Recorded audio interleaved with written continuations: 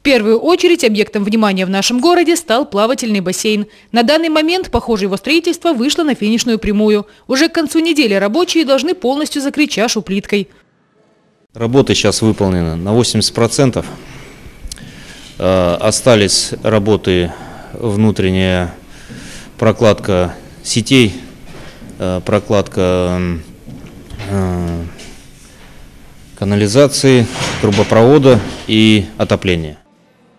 При прошлой проверке говорилось об окончании работ к концу сентября, а в начале октября прогнозировалось начало работы спортивного объекта.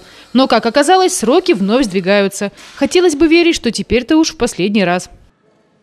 Ждем поставку оборудования по водоподготовке. Вот. Надеюсь, что к концу октября мы уже будем готовы принять пе- первых посетителей.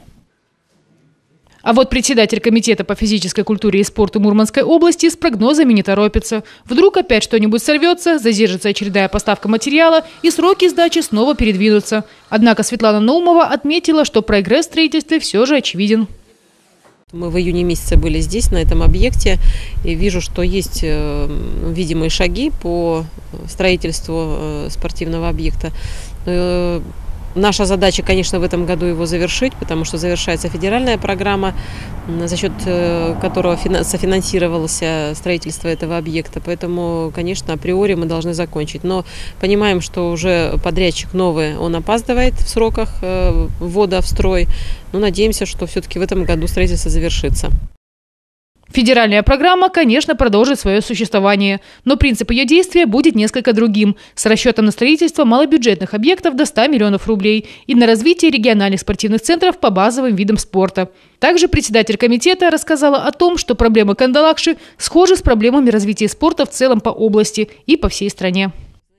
Э, Проблемы нашей сферы везде одинаковые по региону. Это, конечно, э, ну, старая спортивная инфраструктура, которая требует модернизации уже нового подхода. Ну, это большие, конечно, э, финансовые средства и региона, и отдельно взятого муниципалитета. Поэтому э, мы совместно выстраиваем уже приоритетность при реконструкции или при строительстве новых объектов.